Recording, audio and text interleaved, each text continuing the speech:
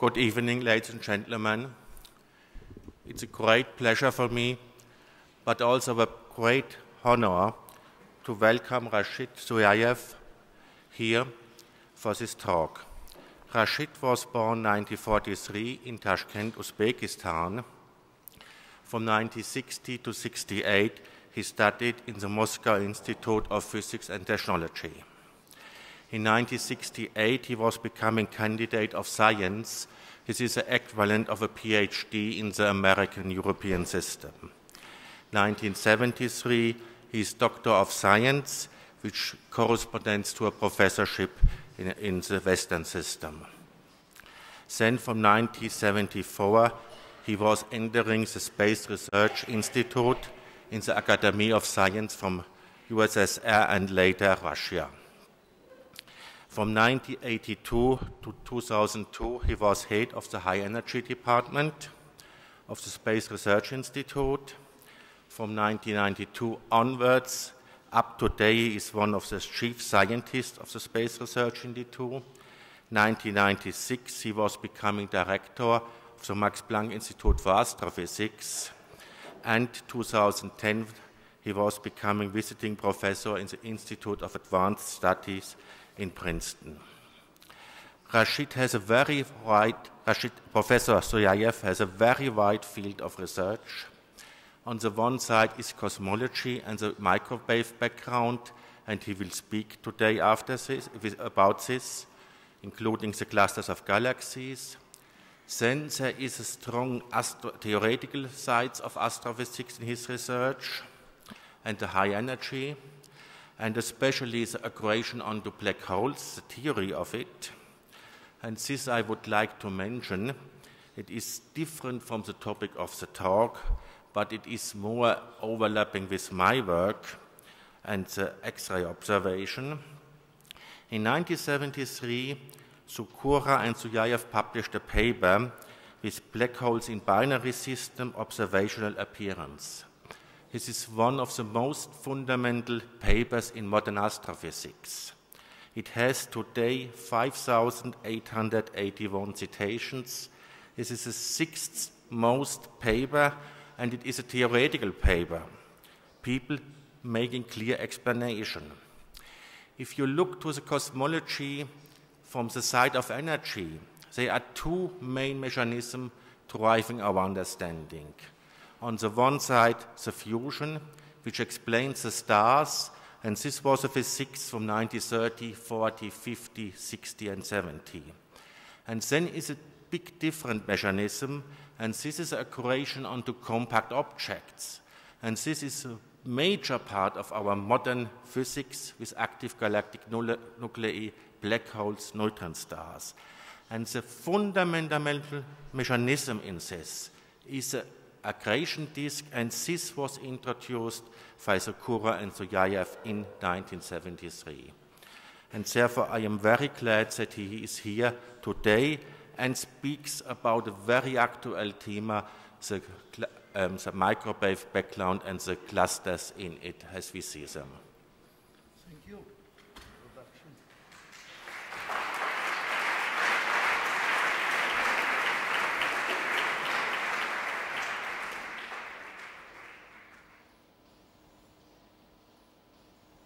Uh, it's great pleasure for me to be in Madrid again.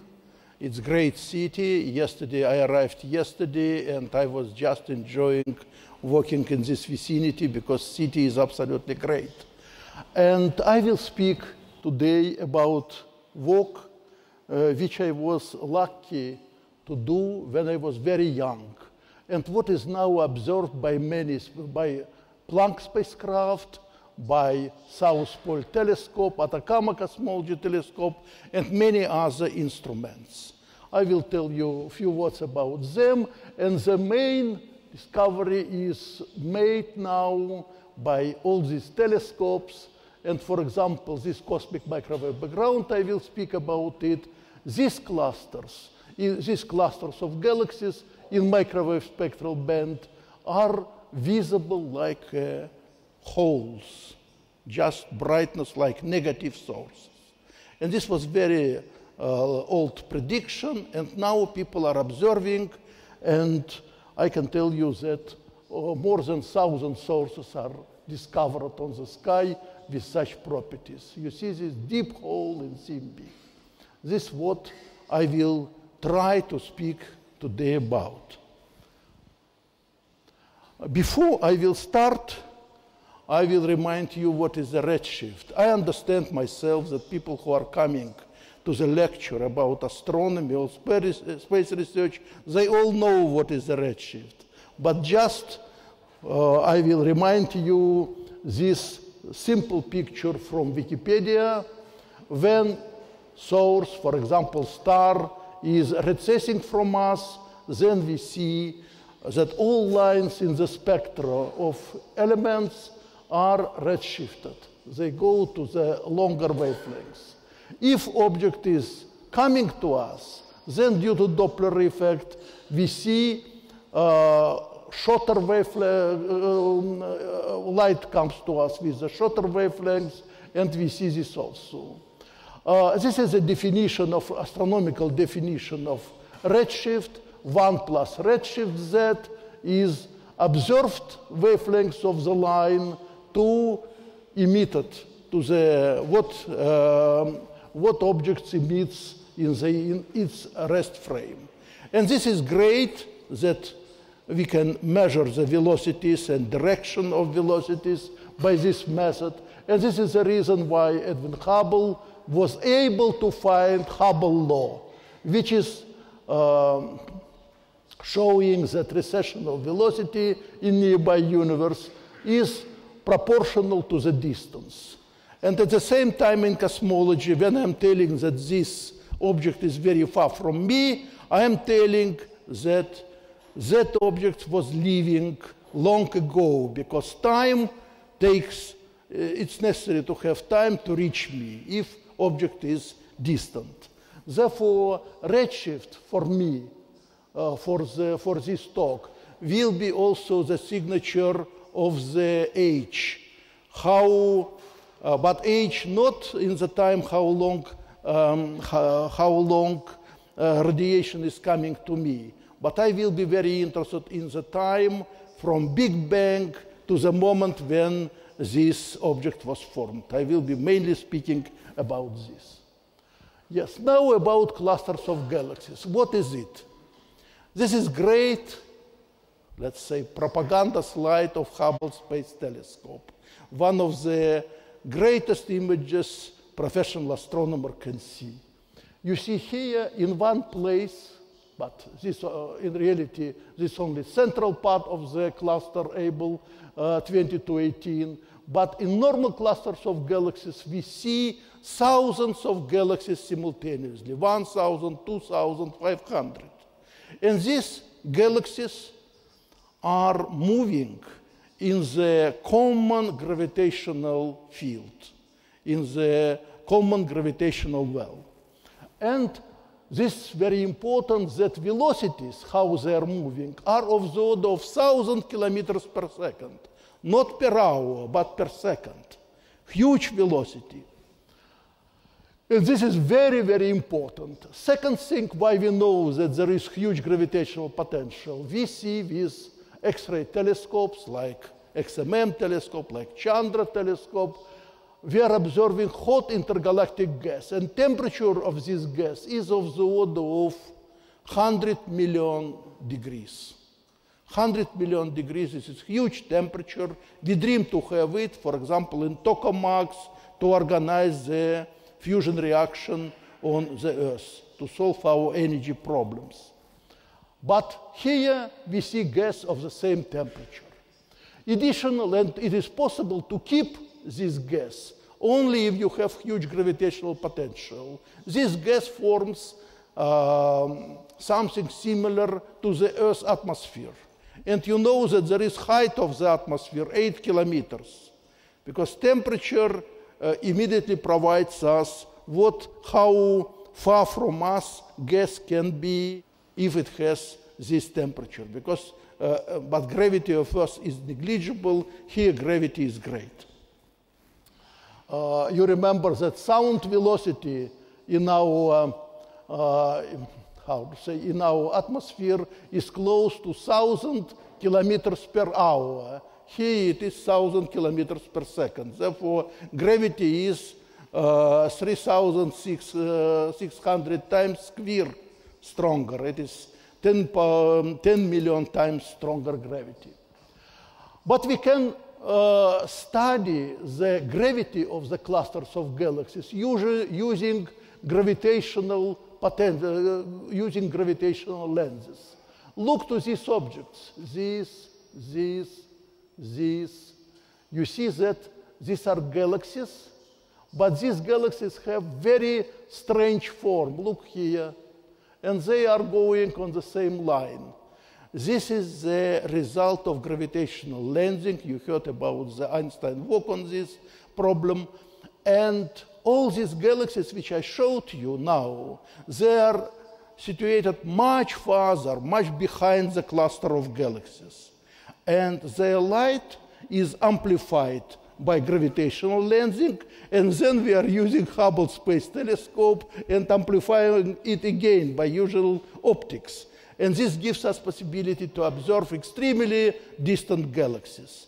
Therefore, when new, very bright cluster is discovered, uh, all optical or majority of optical astronomers are happy because they can study these very, very distant objects well behind the cluster of galaxies.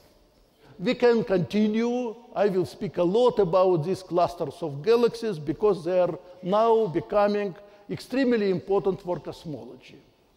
In reality, in reality, greatest discovery was done in 1933 by Fritz Zwicky.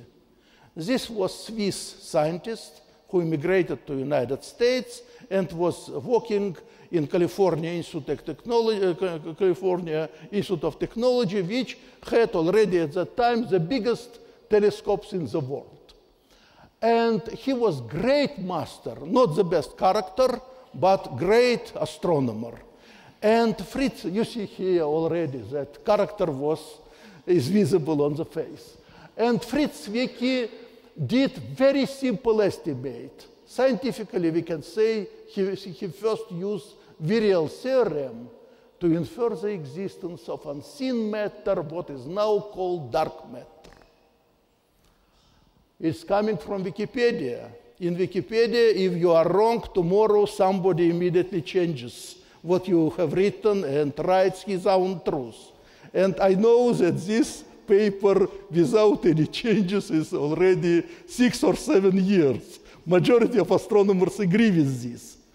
And what he did, just knowing only a course of the high school physics, we know that this GM over r, if m is the mass of the cluster of galaxies and of galaxies and r is its radius, we can estimate what is the gravitational potential. It is it.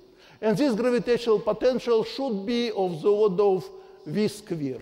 Velocity, uh, just, you know, the energy uh, is also mv squared divided to 2.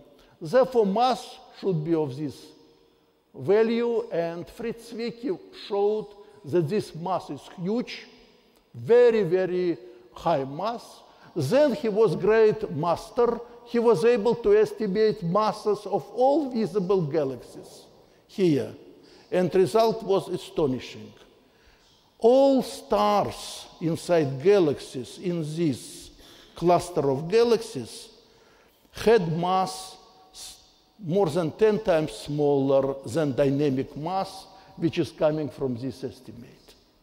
And he told this in 1933, and nobody believed him.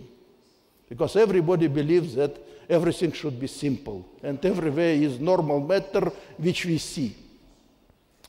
But from 33 to the end of 60s, a lot of people tried to disprove him, but nobody was able. Everybody was getting the same result or they, were, or they had very big error bars. All the best people were getting the same result, but were silent because this was not very good. But what occurred further? Further people found today, we know at least with five different methods completely different, not only having clusters of galaxies. We know that there is this missing dark matter, and this dark matter is much more abundant than normal atoms from which we all, everything around is built. We see, first people thought, and at that time, uh, we also thought that maybe this gas is the hot gas inside clusters of galaxies. Now spacecraft, like European spacecraft XMM, are measuring properties of this gas.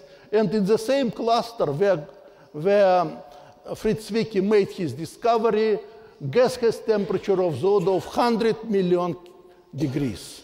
Huge temperature.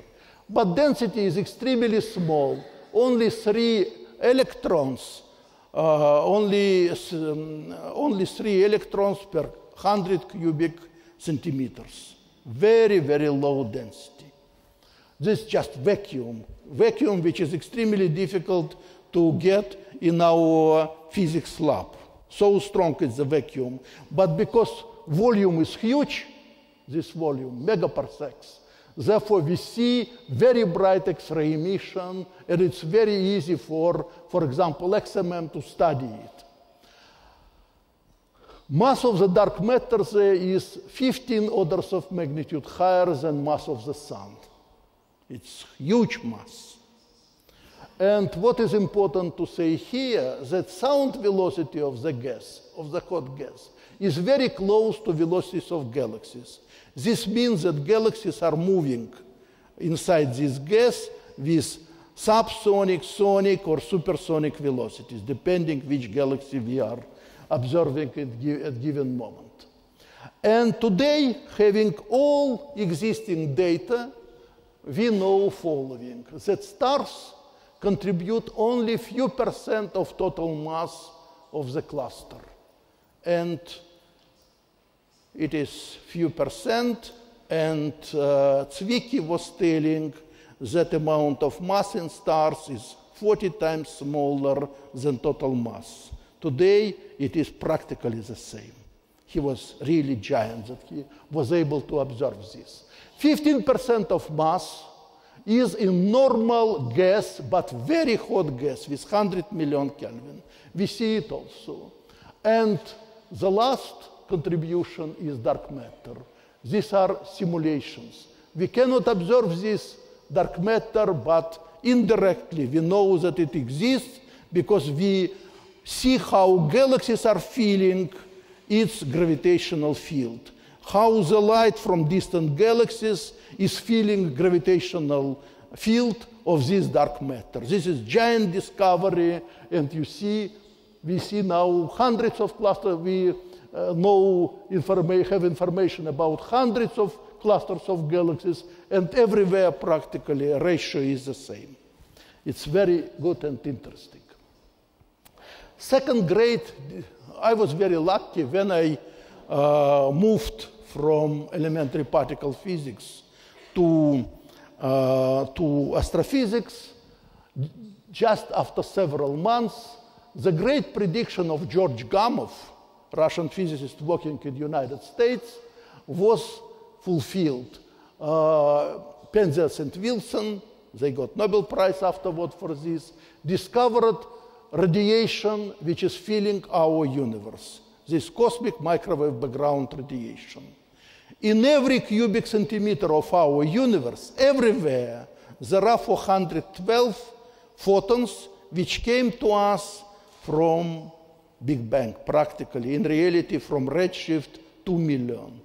At 2 million, there is a black body photosphere of our universe, but it's different subject. I can speak a, a lot about this, but let us say that these are very relic, very old photons, like dinosaurs, but alive, they are coming to us. And this radiation is great. American spacecraft COBE and FIRAS instrument this also is Nobel Prize of John Mather, was able to measure black body spectrum of this radiation. Spectrum is extremely good black body. As Planckian formula predicts, we see this on the sky.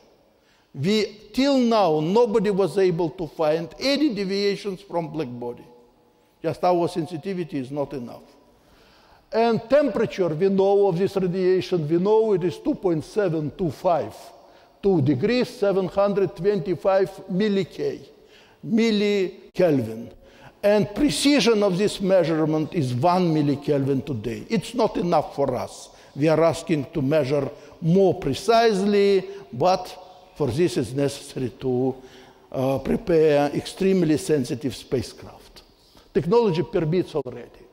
This is a map of angular fluctuations of CMB and obtained by WMAP spacecraft, absolutely great spacecraft, which blue points here are uh, dark, more dark than average radiation to 200 microkelvin. It is four orders of magnitude dimmer than average sky, just the brightest spots, the, the dimmest spots. And the brightest spot, red, are 200 microK brighter than average temperature. This was sensation, and I can tell you even more. Boomerang flights, Maxima balloon flights, they found this before WMAP, but WMAP made all measurements so precise, precise that today only Planck spacecraft, European Planck spacecraft, has better sensitivity. We will know in three weeks there will be press release with new data of Planck. I cannot speak about them now, full embargo, but I can tell you only one word. Planck is significantly more sensitive than WMAP. And what is important also that these, uh, how to say, dim and bright places these are the traces of acoustic waves, standing acoustic waves, which were existing in our universe when it was younger than 400,000 years. There were acoustic waves, and we see these traces today on the angular distribution of, um, of this radiation. Why I'm speaking so long about CMB, about this radiation? It was discovered in 65, and several, maybe two years later, when I first time heard about the, from uh, Samuel Kaplan about this missing mass of Zwicky, it was not, no, everybody was silent about this, but some people knew very old paper. And I told about this to Zeldovich, to my supervisor, and told him uh, it's great problem to find this dark matter. Maybe this is hot gas. And Zeldovich told immediately, okay, if you are interested in this, please look and find way to see the traces of this radiation on the CMB. Maybe you will find something. I started to do this, and first what I did, I considered that maybe photon is coming, scattered to different directions, that I will see something. But in, radi- in isotropic radiation field, there is always another photon which will uh, substitute this photon one and will come to me. Cloud is invisible. I came to Zeldovich, told this that I made this discovery, and Zeldovich told me it's well known 200 years. This is Tyndall effect, and when uh, Tyndall, then I was unable to find anybody who knows about Tyndall effect. Finally, I found it is the following. When there is no moon, you, and there is, uh, how to say, foggy uh, environment, you cannot see the hot uh, air which is coming from chimney. And when uh, weather is good and there is moon shining from one side, you see beautiful uh, how to say, beautiful image of the gas which is coming, hot gas which is coming from chimney. This was Tyndall effect, that in the, how to say, in the isotropic environment, it is impossible to see uh, the source. And uh, scattering source. I, will I found the same independently 200 years later, and Zeldovich was only smiling. I was looking very long, and we were working together for maybe 20 years. And I can tell you that in reality today there are three effects. I will speak today about thermal effect, change of the CMB spectrum in the direction to the cloud with hot gas, which is observed in thousand clusters of galaxies. Second effect which we discovered is kinetic effect. Moving cloud changes the spectrum of scattered CMB photons due to Doppler effect. And we can see this and we can measure velocity of every cluster of galaxies at that time with very high precision. It's, it's like motion um, in the presence of a fear. It is an interesting problem. And the third is the blurring effect. CMB in reality is not isotropic. There are angular fluctuations due to sound waves, you see here, and scattering in, in the cloud removes anisotropies in the direction to the cloud, except 10% of quadrupole at the position of a cloud, which produce polarization. These are three effects. I will speak only about first one. It was long, very long ago. I, can, I am happy that I survived, and I am very unhappy that my mentor, Zeldovich, is not here today. He died in 87, and he haven't seen these beautiful things which I am describing to you. He was great scientist, and you see here he got three stars of hero of socialistic labor in Soviet Union. This was highest award. And only people who were doing atomic or hydrogen bomb were decorated with three times. Only one person, even Stalin, wasn't decorated three times. Brezhnev, Brezhnev, when he was completely ill, he requested for himself more and got them. But before this, were only people who were creating weapon in the country. And Zeldovich had three of them. He was very brilliant person, and when he retired from his work uh, connected with, uh, with atomic and hydrogen bombs, he moved completely, decided to work in uh, astrophysics and cosmology. It was a surprise for me because practically simultaneously, in the end of 50s, in the 60s, a lot of people who were doing the same in America also moved also to cosmology. Everybody was interested what is the universe and how is it possible or not to do something with the whole universe. People, these people were especially interested in the Big Bang. You understand yourself, it was similar to their main profession. And um, also a lot of people who were doing radars, they went to radio astronomy. And these people were extremely strong with a lot of experience.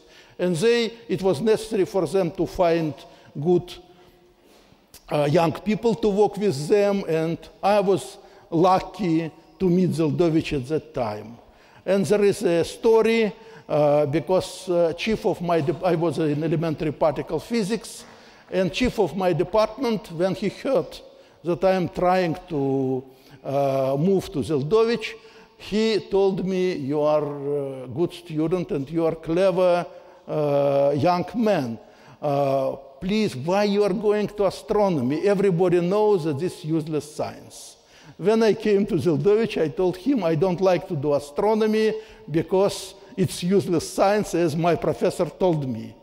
Zeldovich was much more clever than I, and I think even than my professor. He told me, it's okay, please help me with two small problems, and then we will return to the elementary particle physics.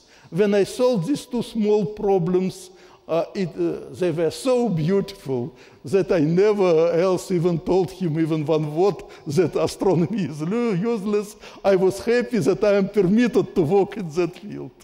And whole life I was very happy with this. Okay, let's move further. Uh, what was the idea? Idea was the following, that if we have the line, this line scattered is scattered on the hot electrons, here with temperature 55 million Kelvin. Electrons in such temperature are moving with velocity one-seventh of velocity of light. It's serious temperature.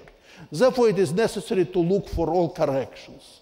I took all corrections up to the second order and found that right wing of the line is stronger than left wing. Photons, um, how to say, poor photons with very low energy is taking energy from the rich electrons, powerful electrons, and a little increase their energy.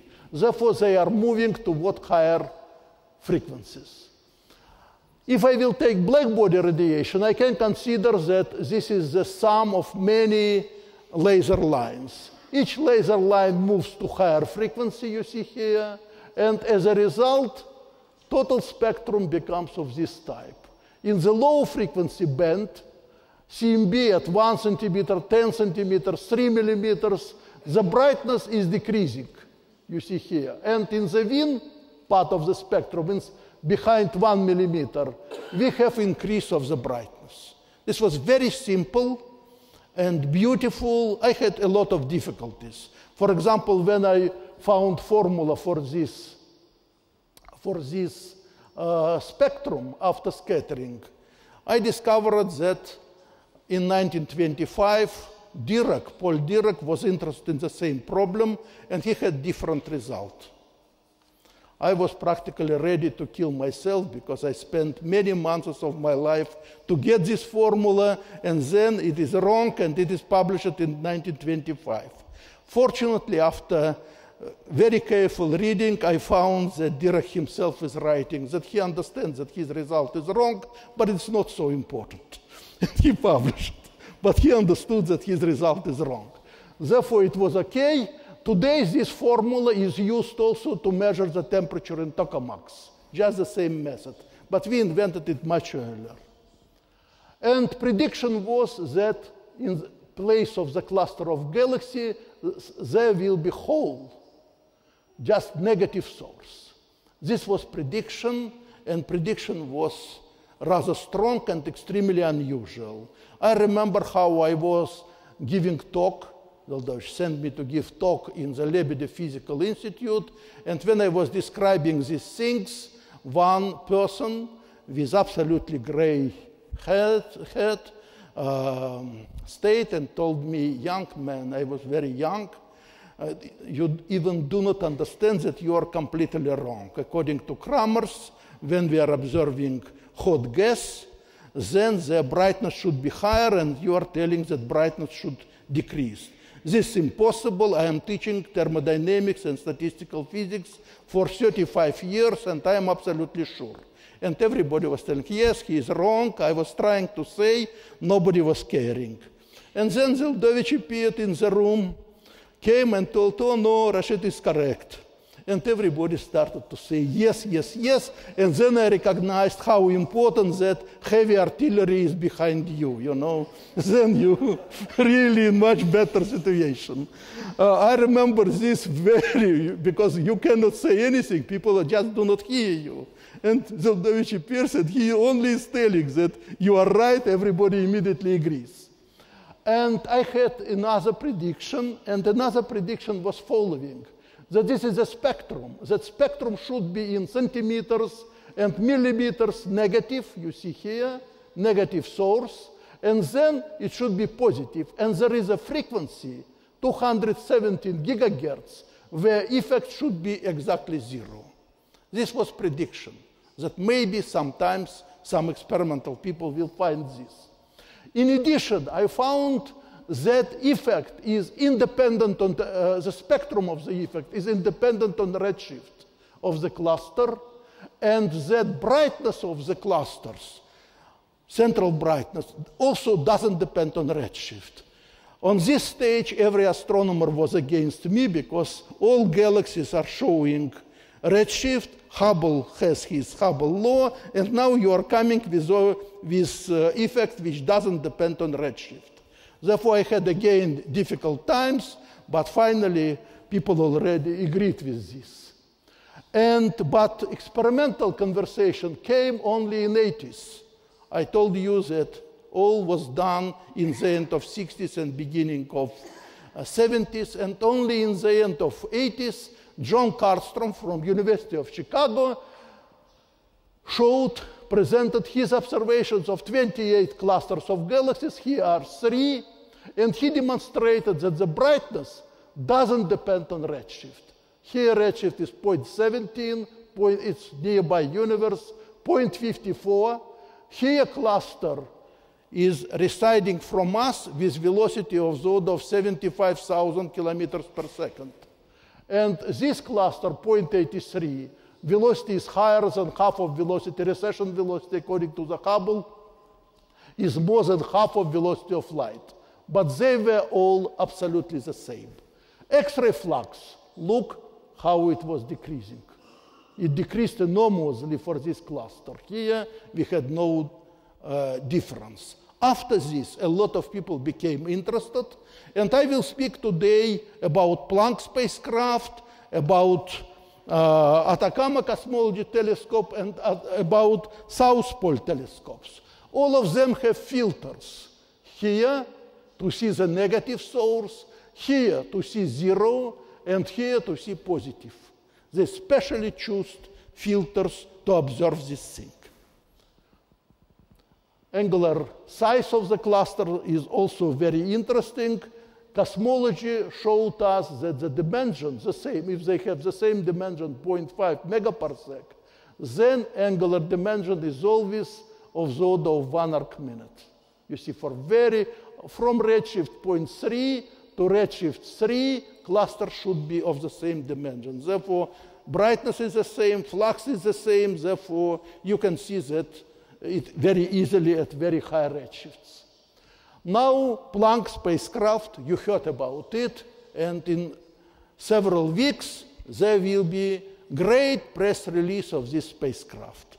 They will demonstrate all discoveries and also discoveries of enormous amount, a lot of clusters of galaxies, which Planck discovered just new on the sky.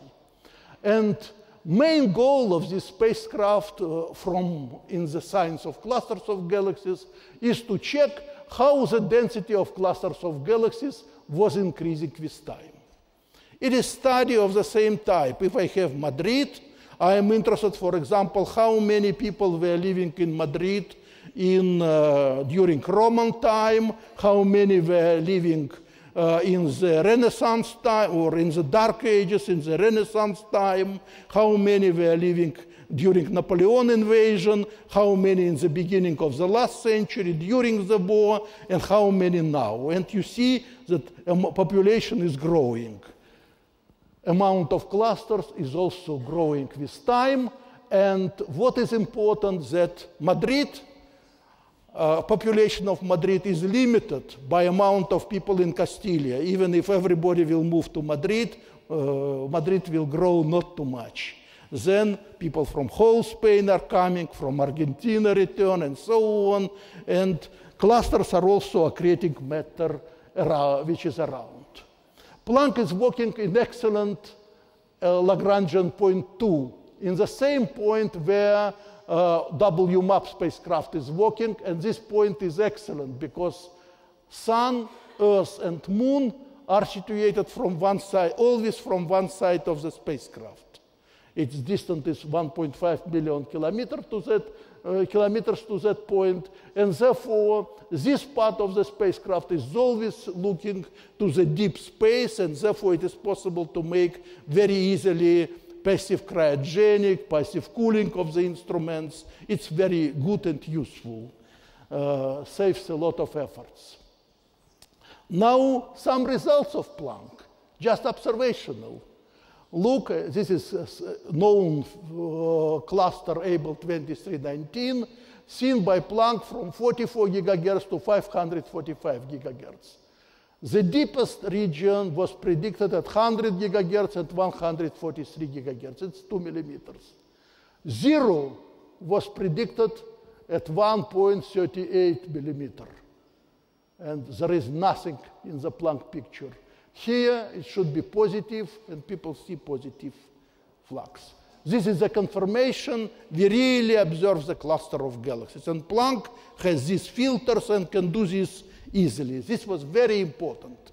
And I will show you also one of the greatest discoveries of Planck in connection with clusters of galaxies. There was special press release of European Space Agency. Planck discovered rather unusual object here, And when XMM Newton observed them, XMM Newton saw three X-ray sources here, and each of them are three clusters of galaxies, which each of these clusters has thousands of galaxies inside. But altogether they form first supercluster discovered by Planck. Planck has several superclusters now. It's, it was very unusual discovery and people will, a lot of people now are studying this interesting object. Uh, if somebody here is doing plasma physics, people know that there are heavy Z ions, and heavy Z ions are emitting, have their own atomic physics and producing lines. For in X-ray astronomy for us, it's very important to observe lines of the helium-like iron ion when iron nucleus has only two electrons, charge is 26, but only two electrons left. In that case, energy of the line in the rest frame is 6.7 keV. Here you see this mm, uh, uh, object, and you see that iron line is shifted. This is 6.7 keV, and iron line is coming around 5 keV. We can measure the redshift just using X-ray as uh, X-ray data. You see, for example, here, object which has a redshift 0.94, practically uni, 1, when all lines in the spectra of the galaxies are shifted twice. And X-ray line is coming to us with energy of the order of 3 keV. We can measure also redshift here, it's measured. This is uh, object which Planck discovered two years ago. And this slide is showing you, presenting you the instruments which were specially designed to observe this effect. And here I'm glad to show you Atacama Cosmology Telescope, South Pole Telescope, directly on the South Pole. There is American station and big telescope, 10 meter diameter, is staying there. You see James Clerk Maxwell telescope with Bolocam instrument from Caltech, uh, which is on Hawaii, AMiBA Taiwanese instrument on Hawaii, Apex German uh, instrument, which is staying in Atacama Desert. This CARMA and this Zeta Ray, uh, they are in Owens Valley. Owens Valley, from where the water is coming to Los Angeles. And the very big radio, uh, radio observatory. Uh, even in foggy uh, Cambridge, people are trying at low frequencies to observe this effect, and they are successful. And this is biggest American dish, uh, GBT, with 100 meter diameter in Green Bank, West Virginia. All of them are spending a lot of time and efforts to observe this effect. And what are the results? For example, these are data 105 existing clusters, well-known clusters with redshift from 0.08 to 1.4. I can tell you that CARMA has now a collection of those 400 objects. For them now with new detectors, they will need from 18 minutes to two hours to detect and to measure effect in the any new cluster which we will tell them. They cannot look them on the sky, but if you are telling them where to look, they immediately confirming you with much better sensitivity because it is rather big instrument. Planck has only 60 centimeter diameter dish, and here you see how many dishes are this interferometer. Yes, these are discoveries El Gordo. This is very interesting object discovered by Atacama Cosmology Telescope in Atacama Desert in Chile five kilometers altitude. It's very impressive place. I was born in Central Asia. There are deserts, Kyzylkum, Karakum, and everybody is telling, oh, this is very dangerous deserts. I was there. I can tell you that there are gardens in comparison with, in comparison with Atacama. Atacama is real desert. And if we go further, you can see here new cluster, this El Gordo, discovered by this Atacama Cosmology Telescope. This what Atacama Cosmology Telescope sees, six meter dish. It sees this hole in the sky. But uh, in X-rays, uh, Chandra spacecraft sees much more complicated picture. Chandra sees that there is a cold, relatively cold gas with temperature of the order of 70,000, uh, 70 million Kelvin is rapidly moving in this direction. And here is gas shocked by shock wave, and this gas has temperature of the order of 22 keV, which is 250 million degrees. Huge temperature. And it's interesting that ACT, for ACT, this is the brightest gas. And for XMM, this is the bright. Uh, for Chandra, this is the brightest gas. And uh, you see how all gas, gas dynamics is here working.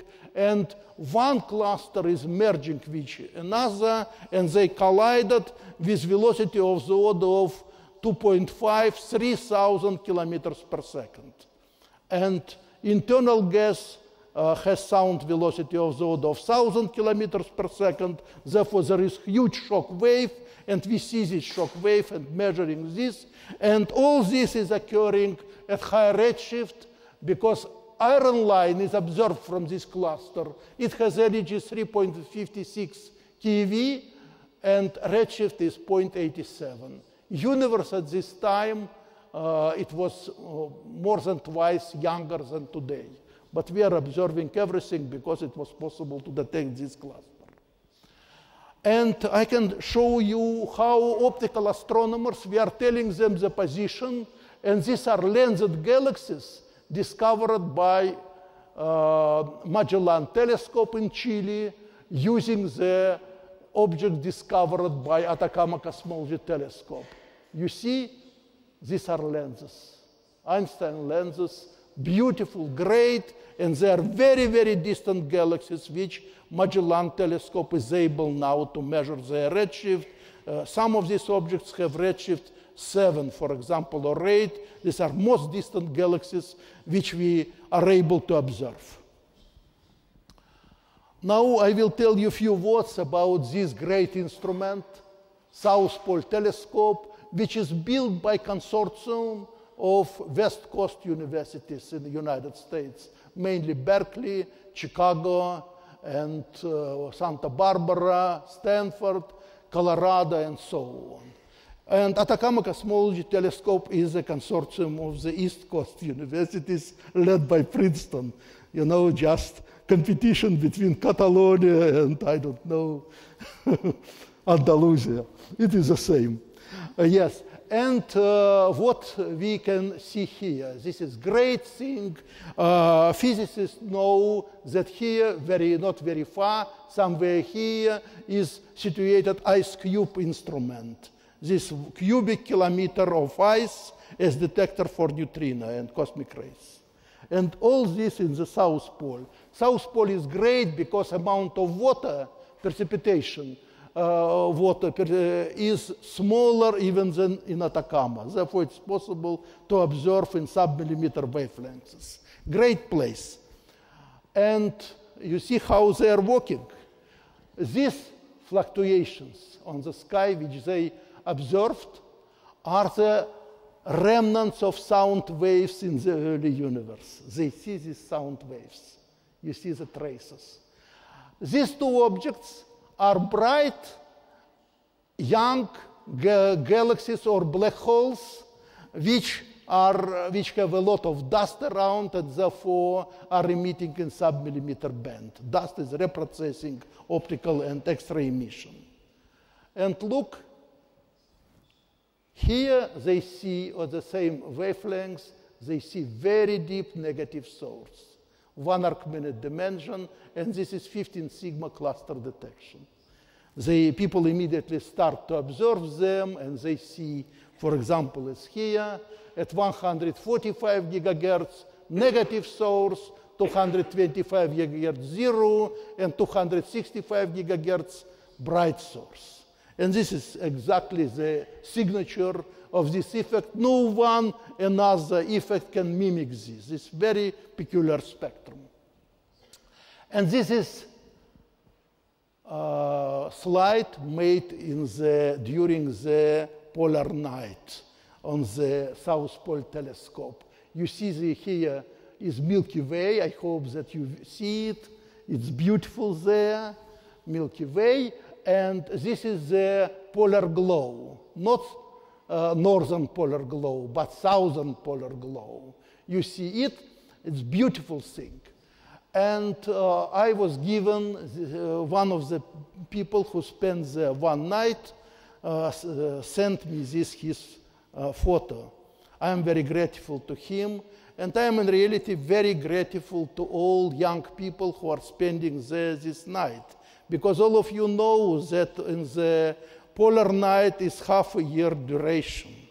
Therefore, there only several people are staying there, and they're responsible for the normal work of the telescope, and there is no any except uh, you know radio there is no any connection with the mainland, with America, or even with Argentina or Chile. It's impo practically impossible that anybody can come there. There is no, at that time, the, it's impossible to land to, for planes. And people are spending, they're observing. I can tell you that uh, I always was proud that I made majority of my uh, founds uh, during the night. I am late bird. But now I understand that it's nice to see at home in the night and to write your formulae when people are spending in such condition also one night, but half a year long. Yes, what we are doing, a lot of synergy between these instruments and obvious competition. Planck will give us all sky survey, crib of unique objects, like uh, superclusters. SPT and TAC, South Pole Telescope and Atacama Cosmology Telescope have optimal angular resolution for detection. And all these instruments, GBT Mustang, CARMA, ALMA, and so on, are producing for us details of the physics due to very high angular resolution. They can resolve the shocks by using this effect. What is the thickness of the shock? And it's very, very important. But let us speak now about cosmology. Let's move more close to cosmology. People are, when I'm speaking about this, people are telling me, okay, why people are spending their time and why funding energies are giving a lot of money for these uh, instruments. Why it is important? First, when we have CMB data and X-ray data, they have unbelievable, they are producing synergy, and we can immediately measure Hubble constant using only one cluster, for example. We immediately are getting Hubble constant. As you know, astronomers are using tens of steps to get the distance scale, to find what is the distance to Cepheids, and then finding uh, final Hubble constant. Here, we are using very simple thing. Effect which I am describing, this is not by slide, therefore I copied, excuse me for this as that. Uh, there is uh, effect is proportional to temperature of electrons, which is huge, density of electrons, and dimension of the cluster. But X-rays are proportional to NE square and L. Now it is not necessary to be great mathematician, you immediately understand if I have two equations, I am measuring all these values, it is possible to solve temperature. I know from the spectrum of X-ray emission, it is easy to find both NE and L because there are two equations. From this, if I know NL, I can find what is the distance to the object, and at the same time, because L is uh, distance is L divided to theta, and theta is angular dimension of the object. And this is the way how I can find using for each cluster what is the absolute distance to that cluster. This is unique way to do this. People are trying. It's, as always, what is easy in theory, it's not so easy on the practice because we are considering, when we were writing this formula, we were considering that all cows are spherical. but we know that cows are not spherical, and therefore it is necessary to get information about dimension in one direction and in another direction. This is very old result of Bonamente, 38 clusters measured by BIMA radio telescope and Chandra spacecraft, and you see for each cluster the distance was measured. And this distance in uh, gigaparsec, and this is redshift, and you see up to redshift 1, you can measure what is the absolute distance, you can scale our universe. Today we will have already more than several thousand clusters, and this will give us an almost new vision of the situation. And I can show you also our understanding of the universe. This is the Millennium simulation. It was done by Volker Springel in um, our institute in uh, Garching in Germany. And Volker used the biggest supercomputer, third biggest supercomputer at that time, the biggest supercomputer which was created by Max Planck for civilian needs, not for military. Therefore, it was smaller than two military computers. And you see here, it is not whole universe, it is, because these are simulation, it is narrow slice of our universe, one hundredth of its dimension. But when you see here, you see the structure, and there are knots of this structure. These are remnants, baryonic acoustic oscillations. These are remnants, again, of the same acoustic waves, which I told you. But there are knots of this thing. I have movie, but have no time to show it. You see every knot is a cluster of galaxies. In the center, there is cluster of galaxies, and this cluster of galaxies is growing because matter due to from these filaments, dark matter, and also gas are accreting to the cluster of galaxies and cluster mass of the cluster of galaxies is growing. Very similar to Madrid. There are, uh, how to say, um, the roads, and people are coming every day to the walk to the Madrid you understand this, and this is great city in the center, but this is cluster of galaxies. I can show you very old and very simple picture. When people were preparing experiments, which I showed to you, and they were trying to count how many clusters of galaxies should exist per 12 square degrees. This was a prediction of 20 years ago, and you can see here it is in the case if there is only matter and dark matter in the universe. Everything universe is filled by dark matter and universe is flat. In this case, there should be no clusters of galaxies behind redshift 0.5. And we see a lot of them at redshift 0.7, 1, 1.5. This model is wrong. I remember when this was most favorable uh, favorable model. And I was telling to people it's against observations of clusters of galaxies. But at that time, only three clusters had redshift higher than 0.8. Today we have several tens of them. And this changed situation. This cosmological model doesn't work. This model considers that our universe is open and there is dark matter, uh, there is only dark matter but, and uh, baryons, but density is 0.3 of critical one. And you see, this is the distribution. I can tell you, I cannot say you about Planck, but I can tell you that SPT and ACT and Planck in published data, they do not see no one cluster with redshift above 1.7. It's wrong because it predicts too many clusters at high redshift. And because effect doesn't depend on the redshift, we should see them and they are absent. Therefore, this model is completely wrong. And model which is the best is this.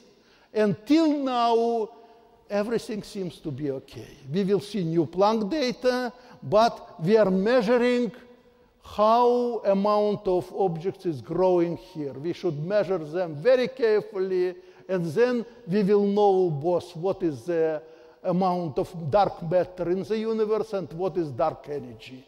We can measure properties of dark, uh, dark energy if we will be able to get very good statistics of clusters of galaxies. I hope that Planck and this ground-based instrument will give this to us very rapidly.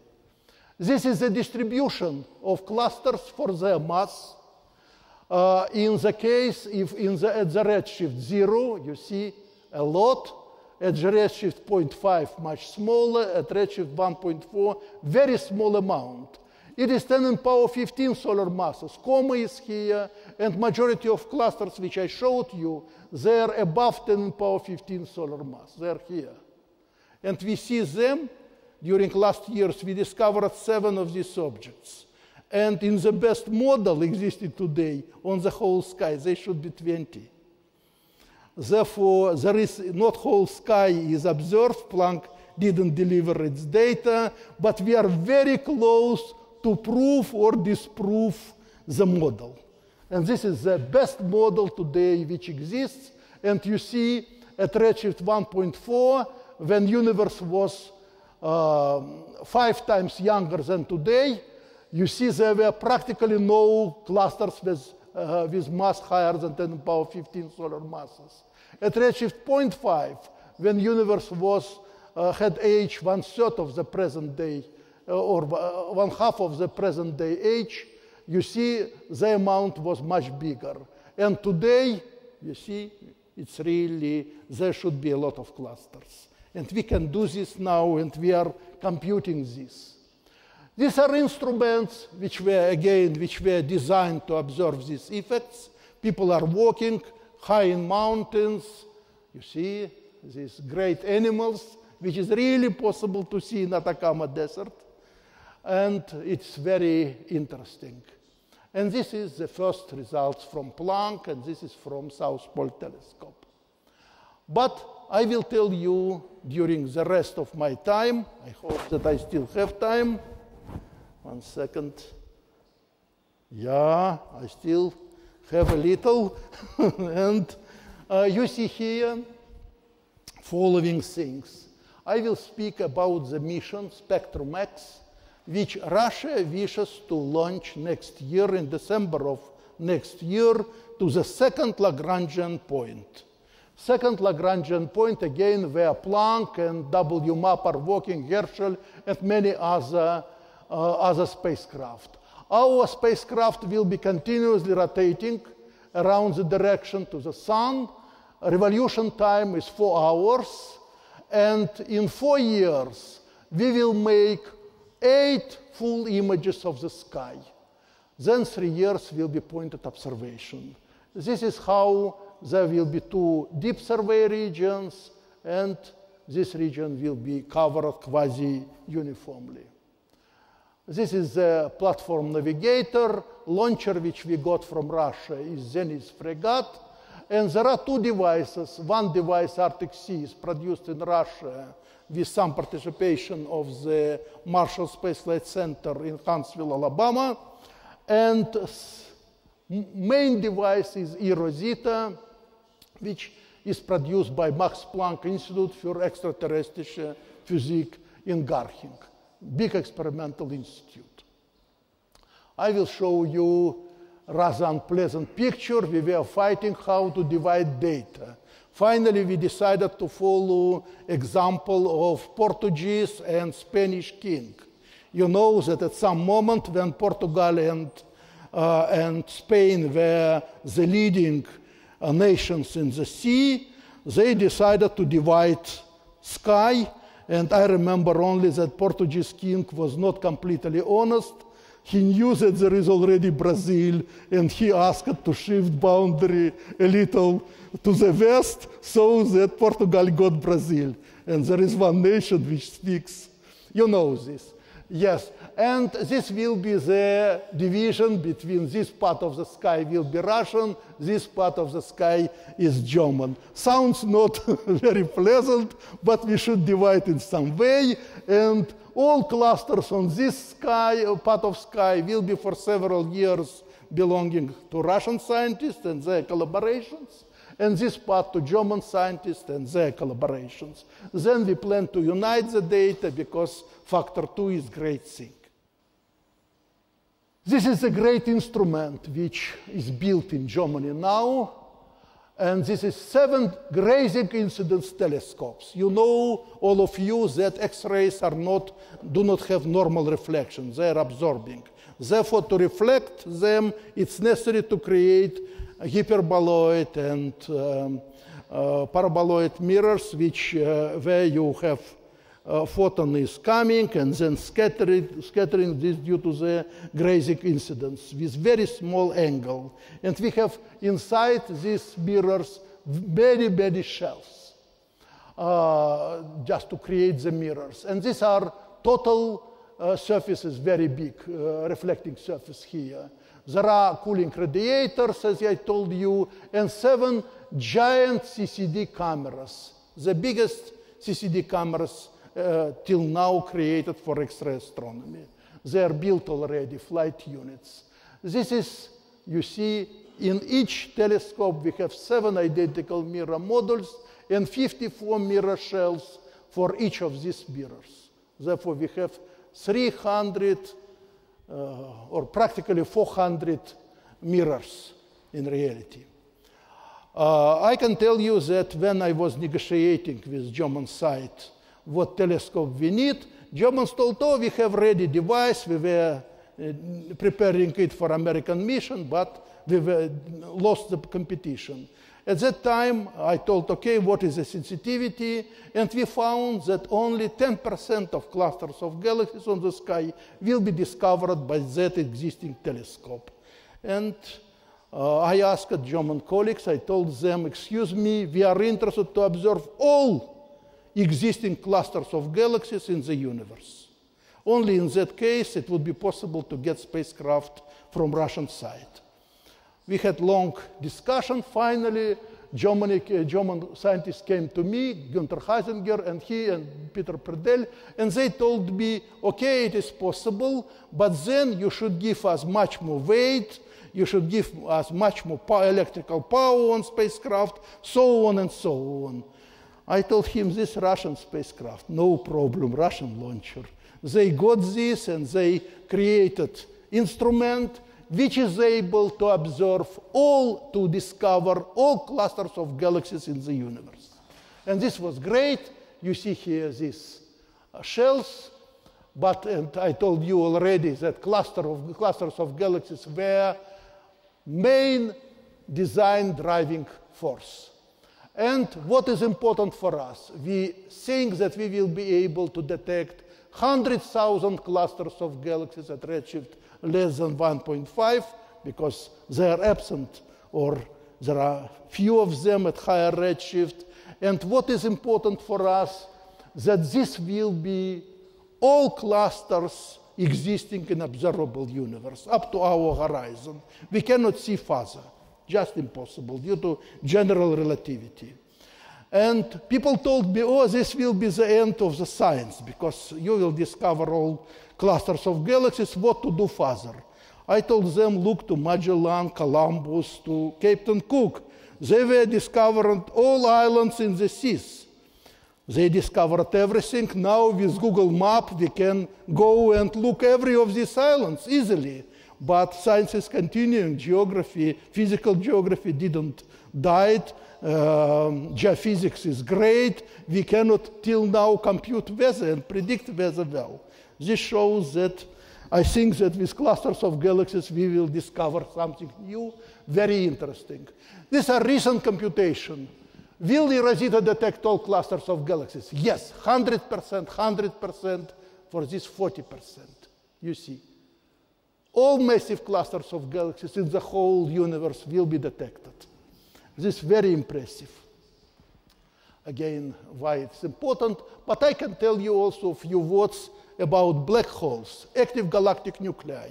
We dream to detect 3 million active galactic nuclei on the sky and detect also traces of sound waves in the universe in their distribution, which I told you also before. Yes, and this will be these objects, how to make supermassive black hole visible. Gases falling, rotates around, and nearby layer uh, have friction, and because they have friction, they are losing energy and angular momentum and slowly moving towards the black hole. Surface of the disk is heated because there is huge energy release, and black hole becomes brightest object in the universe. We can observe them very, very far. Today it seems that we are observing them up to redshift 8 rather easily. They are very, very bright objects. And we wish to detect 3 million such objects on the sky. It will be very interesting. And this is baryonic acoustic oscillations.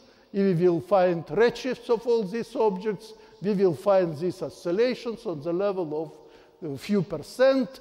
And this will also give us additional information about properties of our universe in the early times. I can tell you that it will be possible to observe stars from uh, 300,000 to half a million stars on the sky. Just corona like our sun, but much more active. I can return to the black hole and can uh, tell you that these black holes, to become the brightest objects in the universe, they need, the brightest of them, need three Earth masses to eat per second. They have very good appetite. You understand me? And uh, per year they are eating one solar mass. Just and it is very interesting when uh, star, excuse me, when star is coming very close to black hole, somewhere here.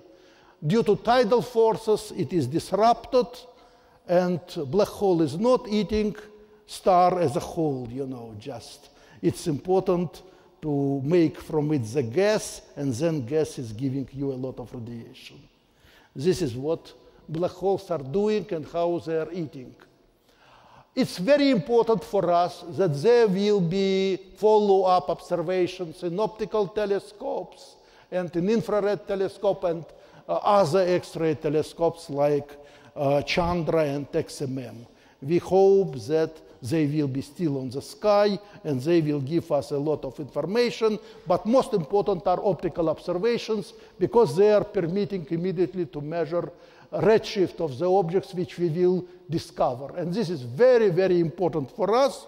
And we are very happy that Spain has 10 meter telescope on Canarian, and Spain has also rather good share on VLT, on the great um, instruments of European Southern Observatory in Chile. And this was, I was telling you about clusters of galaxies. They are extremely important, and may I finish my talk with following words. We were waiting more than 30 years for the observations which will be able to prove our theory, which was created in 69, 72. I was very young at that time, this whole my life, as you see in science.